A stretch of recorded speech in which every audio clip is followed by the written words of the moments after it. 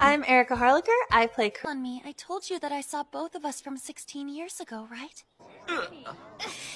I just transferred here and I'm looking forward to meeting everyone. I'm Ami Kawashima.